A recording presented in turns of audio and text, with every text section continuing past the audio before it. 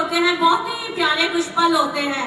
ऐसे ही मुझे लोगों ने बहुत सारे नामों से पुकारा।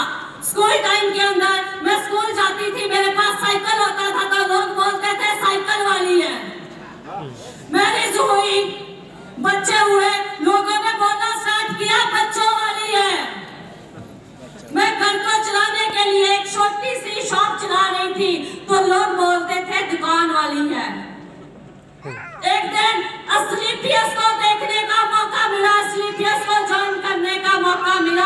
तो मैंने सीपीएस को ज्वाइन करा और लोगों ने बोलना स्टार्ट किया, हिम्मत वाली है।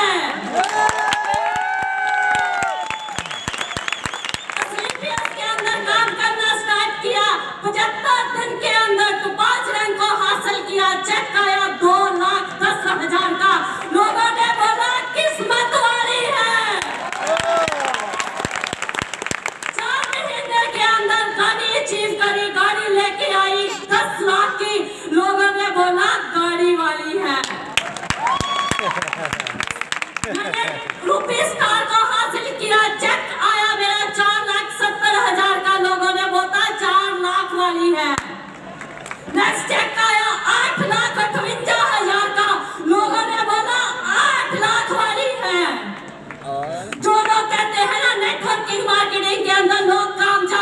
होते जहाँ पर सपने पूरे नहीं होते। यही राजविंदर नौ नवंबर को एक लग्जरी गाड़ी लेके आएगी। वही लोग बोलेंगे, वाओ, लग्जरी कार वाली है।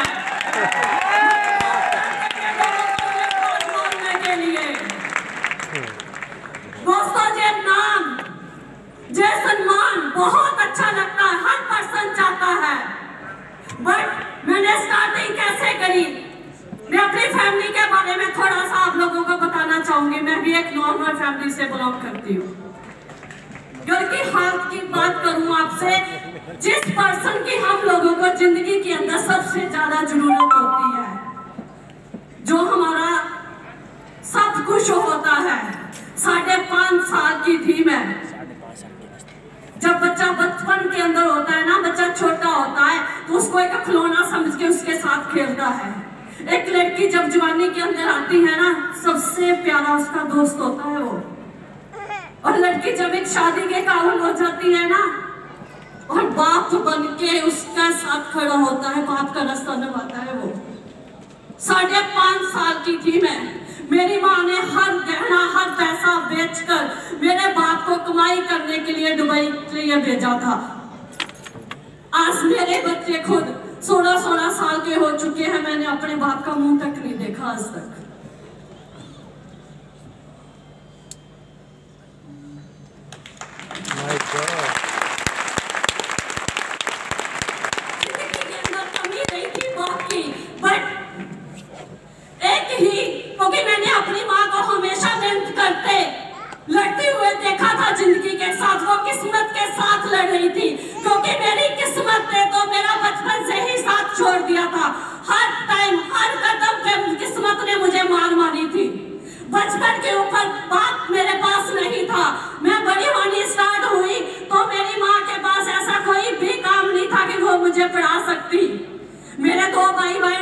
बहन और भी छोटे थे मेरी माँ एक फैक्ट्री में काम करती थी छह सौ सात सौ रुपया सैलरी रहती थी गोविंदपाल के अंदर फैक्ट्री है उस फैक्ट्री के अंदर ही वो सोती थी अपने खाने के पैसे बचाने के लिए उस वहाँ पर जो मजदूर काम करते थे उनका खाना बनाती थी मैंने अपनी आँखों से ये सब कुछ देखा था हमेशा मैं तड़पती थी मैं चाहती थी आपकी अपनी माँ की मदद करना मैं खुद स्टडी कर रही थी हमारे घर के अंदर भी बेटियाँ हैं क्लास के अंदर पढ़ती होंगी। शायद उनको ये भी नहीं पता होता कि हमारे घर का खर्चा क्या है, हमने कैसे चलाना है।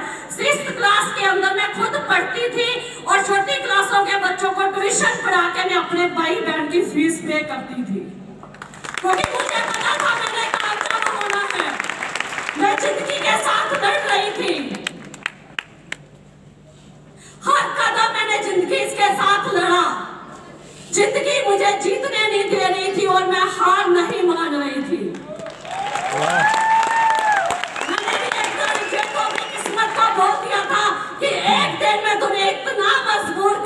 इतना मजबूर कर दूँगी कि तुझे बदलना ही पड़ेगा।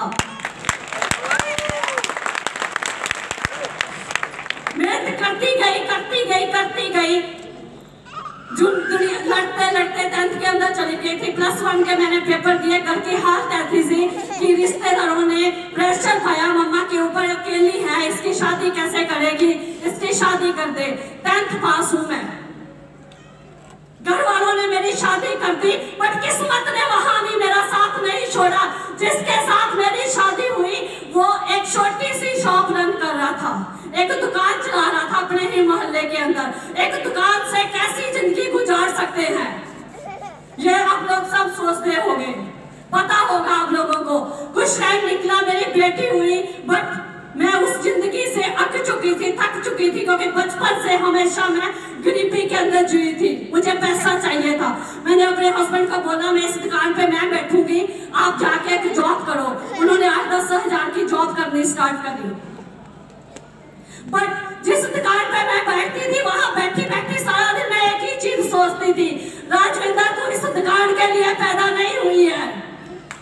जिस बचपन में तू जी उसी बचपन, उसी ज़िंदगी में तू मर जाएगी।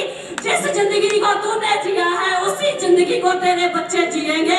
तू ऐसा नहीं होने दे सकती, क्योंकि मैंने एक चीज़ पढ़ी थी कि गरीब पैदा होना, गरीब पैदा होना आपका कसूर नहीं है। यदि आप गरीब मर जाते हो तो सबसे बड़ा आपकी जो गलती है।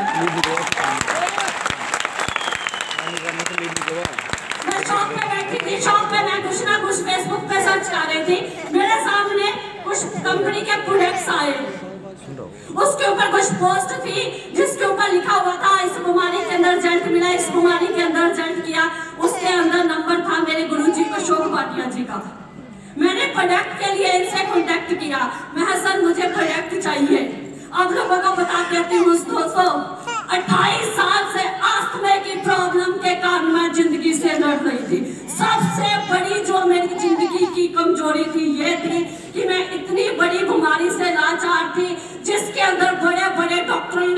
हॉस्पिटलों ने हाथ खड़े कर दिए थे कि इसके ऊपर जो डोज है वो है नहीं। फिटनासोल का चाहे वो कैप्सूल हो चाहे वो टैबलेट हो चाहे वो आस्थालीन की टैबलेट हो चाहे कोई भी एलर्जी का टेस्ट हो मैं हर चीज़ करवा चुकी थी। बट बड़े हॉस्पिटल के अंदर इलाज करवाने के लिए मेरे पास बड़ा पैसा नहीं था। डॉक्टर ने बोल दिया था कि तेरी बॉडी के ऊपर इन इन दवाइयों ने काम करना बंद कर दिया है। पर मैं ज़िंदगी को जीना चाहती थी। क्योंकि मैं जब रात को मुझे प्रॉब्लम होती थी, सांस की मैं सारा सारा दिन रोती थी, सारी सारी रात में बैठ के काटती थी, मेरे बच्चे भी पास में बैठते थे। मैं तो परमात्मा को यहाँ तक नहीं कह देती थी कि इससे अच्छा तो तू मुझे उठा ले, मुझे ये ज़िंदगी नहीं चाहिए। क्योंकि मैं जी नहीं पा रही थी, ना मैं कुछ खा रही थी, ना मैं कुछ कर सकती, ना मैं सो सकती, ना मैं बैठ सकती। मेरी बुरी हालत थी। डॉक्टर बोलते थे, गर्मी के सीज़न के अंदर तो हिल स्टेशन के ऊपर चले जा। मुझे पता था मेरे घर के अंदर तो चाय बनाने के लिए चीनी नहीं है तो स्टेशन के ऊपर कैसे चली जाऊँ? सही बात मैंने इनको बोला मैं गुरुजी मुझे प्रोडक्ट चाहिए और ये नेटवर्किंग मार्केटिंग के अंदर थे। इन्होंने बोला मैडम क्या करते हो? मैं मैं दुकान चलाती हूँ। कहते आप दुकान के साथ साथ काम करके अच्छा पैसा कमा सकते हो। मैं पैसा गुस्सा तो बाद में देखेंगे पहले तो मुझे प्रोडक्ट चाहिए मैं रिज़ल्ट लेना चाहती हूँ मैं ठीक होना चाहती हूँ। क्योंकि मैं अपनी ज़िंदगी से थक चुकी थी। ये मेरे पास आए, इन्होंने मुझे अमीनो डॉग, एक क्लोरो डॉग दिया। मैंने यूज़ करना स्टार्ट किया। और पहले पंद्रह दिन के अंदर जिस मेडिसिन को मैं पिछले 28 साल से खा रही थी, पहले 15 दिन के अंदर मैं उस गोली को छोड़ चुकी थी। मैंने कंटिन्यू किया प्रोडक्ट को एक महीना ऊपर क्रॉस हो गया था। मैंने इंजेक्शन लगाना बंद करवा दिया था, क्योंकि डेली शाम को मुझे इंजेक्शन लगता था। डेढ़ महीने के अंदर दोस्तों, जिस पंप को मैं सारा साल से ले रही थी सारा साल से जिस पंप को मैं यूज़ कर रही थी डेढ़ महीने के अंदर उस पंप को मैं यूज़ करना बंद कर चुकी थी। एक चीज़ सोची मैंने, यदि मैं ठीक हो सकती हूँ तो बहुत सारी दुनिया है जो ठीक हो सकती है। मैंने इनसे दोबारा कॉन्टेक्ट किया। ये कहते प्रोडक्ट खत्म हो गए मैं प्रोडक्ट नहीं खत्म हो गए मैं इसके अंदर काम करना चाहती हूँ। कहते, आप नहीं कर सकते, मैं क्यों नहीं कर सकती? कहते, इसके अंदर काम करने के लिए अपना दिमाग यूज़ करना बंद करना पड़ता है। जैसा फ्रेंड कहती है, जैसे सीनियर कहते हैं, वैसा करना पड़ता है। यहाँ पर लोग काम कामयाब नहीं होते हैं, लोग दोष कंपनियों को देते हैं। मैं जैसा आप बोलोगे, मैं वैसा करूँगी, क्योंकि मुझे पता था रोटी की कीमत। मुझे पता था पैसे की कीमत, क्योंकि मैं गरीबी के अंदर जी थी। मैं जैसा आप बोलोगे, मैं वैसा बात करूँगी बट मुझे पैसा चाहिए। दोस्तों, जैसा इन्होंने बोला, वैसा वैसा मैंने काम करना स्टार्ट किया। मुझे नहीं पता पचहत्तर दिन के अंदर कैसे पाँच हो गया, कैसे चार लाख आया, कैसे आठ लाख आया, कैसे मेरे पास गाड़ी आई। तेरह महीने के अंदर मुझे नहीं पता मेरे पास कैसे आए Give me a huge round of applause for this thing. Uh, Rajendra I'm really sorry. मैं आपके लिए बस इतना ही कहूँगी कि हिम्मत वाली है एक बार जोरदार तालियाँ हो जाए कर मुझे भी लगा फासला देखकर कर मुझे भी लगा फासला देखकर